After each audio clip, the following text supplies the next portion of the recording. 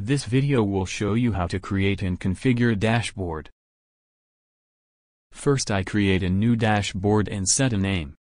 I leave other fields as is, since they can be changed later if required. When the dashboard is created, I need to add at least one server, but you can add several. Servers displayed here are the same than the ones on the first screen. I just click on a server to add it. If I want to remove a server, I just need to click on it. I must wait for the server icon to show that it is connected.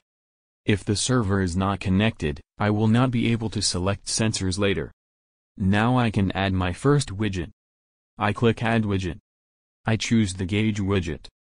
The widget is added to the dashboard and the configuration interface is displayed. If I want to edit the configuration of the widget later, I will just have to long press on it, and the current configuration interface will be displayed. I set a title. Now I add a first sensor.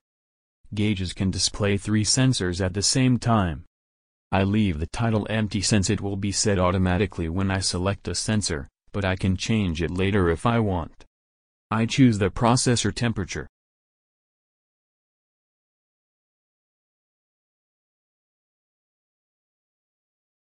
I select the color.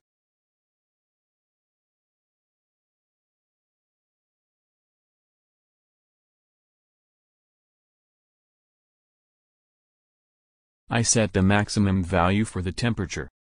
Let's say 100 degrees Celsius. Now, I can close the configuration screen, and the temperature should be displayed. I add another widget. I choose the multi-bar widget. I set a name. I add at least one sensor. I choose processor usage.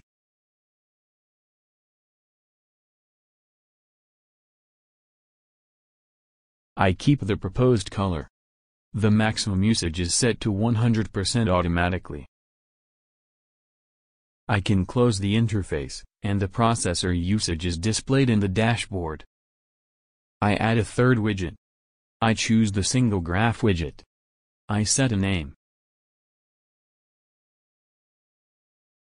I choose the processor fan speed.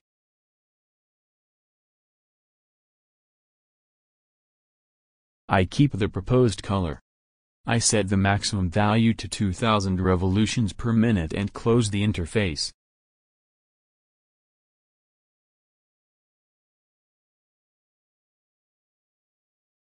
Now I want to change the position and size of my widgets. I select Arrange Widgets. To select a widget I can simply click on it or use the select arrows to change the selection.